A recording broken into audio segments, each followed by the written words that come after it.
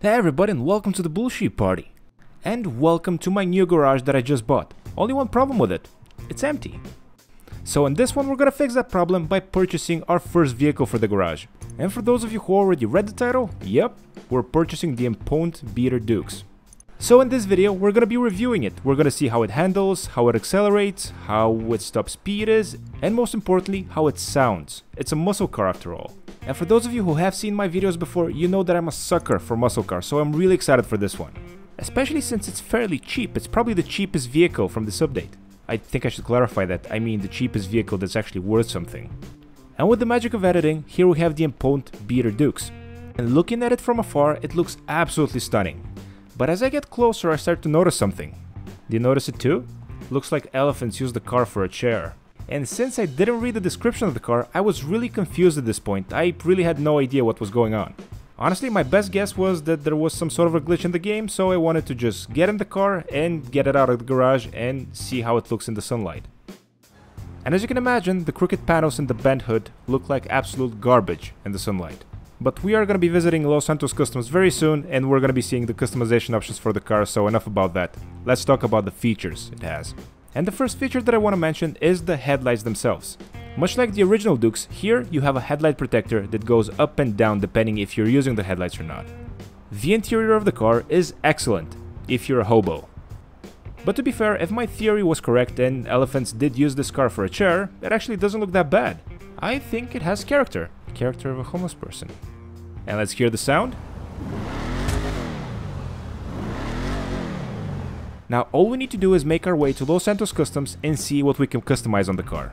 But first, I want to show you how interactive the car is. And what I mean by that is to see what basically we can open on it. Happy to say that you can open both doors, the hood and the trunk. I don't know why I would care about this, but well, there you go, you're welcome. And with that completely useless piece of information, let's burn some rubber and go to Los Santos Customs. Oh, and just to avoid people asking in the comment section, yes, the car is rear wheel drive. It's a muscle car after all. So first impressions of the stock version of the car. Great sound, horrible exterior and horrible interior. And I'm only saying they're bad because they're weathered. And I understand they're supposed to be weathered, but let's see what we can do in Los Santos Customs when we customize this bad boy. As for everything else, I think it sounds fantastic, I really like the headlights, and I don't mind how it slides left and right all the time. Actually, muscle cars are my favorite thing to drive in GTA Online and I think this particular one captures the spirit of the 1970 Dodge Charger perfectly. As I said in the beginning, I'm a sucker for old American muscle cars. And now pretending to be lost, I'm just gonna cut a little bit of time to the point where we enter Los Santos Customs. Yeah, I was totally lost. What brings you in today? And just like with every video, I'm gonna repair the damage that I've done to the car and then upgrade or max out all the performance options. I do this upfront so I don't forget anything when it comes to the performance side of things. Only thing that I don't do is upgrade the armor cause I think it's useless but if you want to do it, be my guest. Now it's probably a good time to mention that if you like the video or like the content that the BullSheep Party produces, like the video and subscribe to the channel. If you're already a subscriber, well, good job. Now go spread the word. And it's time to customize the car. And this is the actual point that I realized that the card had intentional damage on it. Well, the good news is that you can fix it, and the even better news is that you can choose from a variety of front-end splitters. There's something here for everyone, whether you want to make the car as low as possible or if you want to make it sporty. Me, I decided to go for a medium muscly look. And going over to the exhaust, we have a lot of variety here. So far, I've been very happy with all the vehicles from this update, seeing how much you can customize from them. The side exhaust is definitely a cool look, but I don't think it's for this car. So we're gonna go with something to put on the back, and I ultimately went with four big old pipes.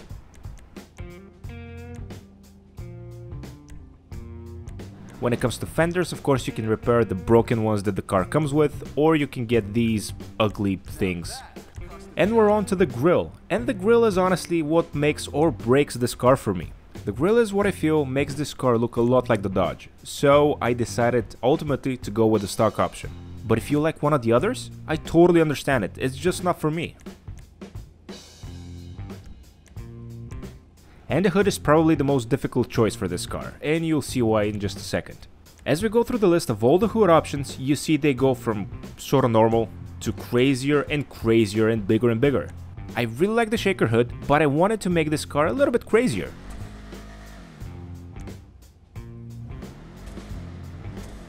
Now that's attention to detail. And here we have the weirdest hood option for this car, twin turbos. Why is it weird? Well, I'll explain. It's an American muscle car, so most people associate American muscle cars with superchargers, not turbos. I actually like all three of them, including the shaker hood, and I was having a really tough time deciding on which one I wanted to go with. But ultimately, you know me, I choose the option that makes the least sense. Yep, we went with twin turbos. I usually don't touch the lights and leave them stock, but since we're dealing with an older car, I decided to go with the xenon headlights. And looking at the livery for this car, I can actually see the appeal of the car looking like this. I don't know if you've seen my drift truck, the Drift Yosemite, but it has a rusty look as well. I really like that about it, and at this point I was contemplating doing the same for this car. And going through the rest of the liveries, there are some pretty awesome ones, I gotta say. Very surprised.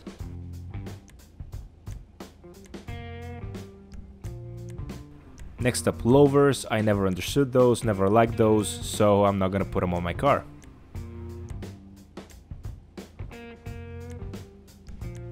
And the side mirrors, since we're going with a sort of a modern, old school look at the same time, I decided to go with chrome mirrors, which are the oval ones.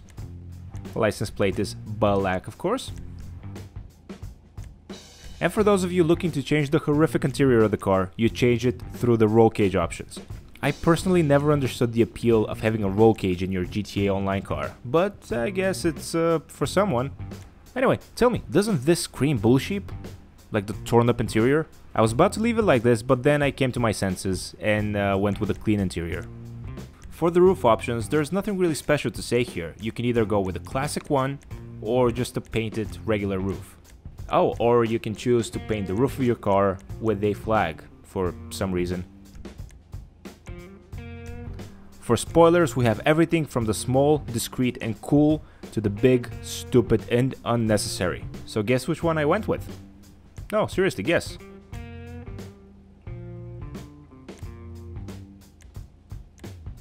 No, wrong. I went with a small and discreet one. Suspension options don't really apply to this car, as it's already very very low to the ground,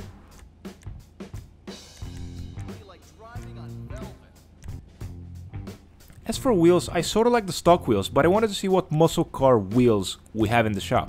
And by that of course I mean what wheels are gonna look good on the car. Most of it look good on it just because of the stance it has. It's aggressive, it's old school, it's a muscle car. Oh, did I mention by the way how much I love the look of this car? I think I did. And speaking of love, show some love in the comment section down below. What do you think of the car? Giving it a number from 1 being horrible, 10 being awesome. What would you rate it? Oh, and while you're at it, you might as well click the like button, because, you know, you like the video. Anyway, back to customizing the car. At this point, I realized that I wanted to match the rims of the car with the blue intake lines for the turbos. So we'll be matching the blue intake lines with the blue rims. As far as customization goes, next up we have wheelie bars. Why would you want to put one on your car? I have no idea, they're definitely not for me, but you have the option to. Oh, and this is also how you repair your rear bumper. And as always, with the window tint, we go with the light smoke finish. Now all we need to do is see what color best goes with the car. I went through several color options, and I gotta say, this car looks fairly good in most colors. I think it looks fantastic black, but I wanted to customize it a little bit, you know, make it a little bit more mine. So of course, I made it pink. I'm just kidding. But speaking of pink things, today I bought the Super Yacht. And I bought it before the discount. Long story. Anyway, guess what color I made it, viewer? That's right, pink. In my defense, it was done in the middle of a live stream, and I sorta asked the viewers what color they wanted me to make it, so it's sort of my fault. But to make sure that you don't miss any future updates or any cool future live streams, make sure you subscribe to the channel. And as I'm blabbing about the live stream that I did today, look at the car and tell me it doesn't look beautiful. I think it looks great at the moment, but the secondary color is a bit off. I wanted to make it chrome, but chrome isn't an option for me because it's still locked. So the next best thing is to make the entire car unicolor.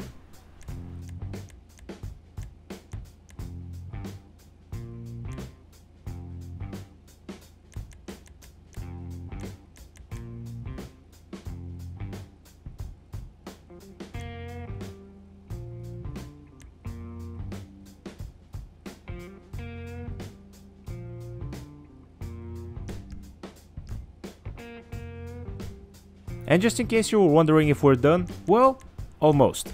This is something that I almost never do, put liveries on cars, but I felt like something was missing from this one. It looked a little bit naked, especially with the unicolor, so I had to do something about it. As I said a little bit earlier, I think Rockstar did a great job with the liveries in this update, and I really like several of them.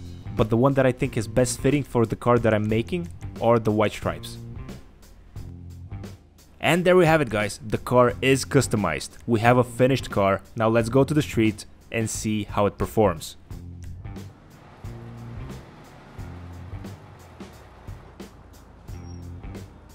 I want you to give the car a number value in the comment section down below, giving it a number from 1 to 10, 1 being horrible and 10 being completely awesome. I think we know what I'd give it, but I'm curious to know what you guys think. And I'm gonna say it again, this is probably the cheapest useful car from this update, costing a little bit under 380,000. We saw the visual change as we were modifying it, but what is the change in the performance and the way it handles? Well, first of all, the driver is the same, so we can't expect any miracles, but the car performs, in my opinion, very very well. It's very slidey, it's very back heavy, it's very unstable when you want it to be. And that's cool, that's fun, that's what a muscle car should be. The extra power is definitely noticeable, especially around corners. And I also feel the extra grip from the spoiler that we've added. One thing that probably not a lot of people are talking about is the sound the car makes after you upgrade the turbo. And I specifically say turbo because that's the option you select in Los Santos Customs when you want to upgrade it.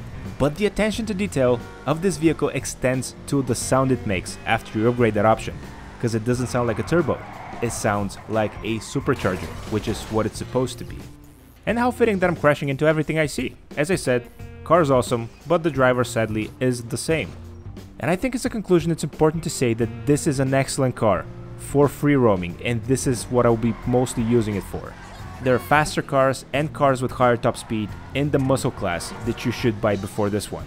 But for what you're getting, for the price you pay, I think this one can be beat. And with that, we're gonna be ending the video. Thank you so much to everybody who watched, hopefully you liked it, and if you did, hopefully you left a like on the video. If you're new to the channel, make sure you click the subscribe button so you stay tuned for all future updates, not only about the channel, but also in regards to GT Online. And I'll catch y'all in the next one. Oh, and here's wheelie.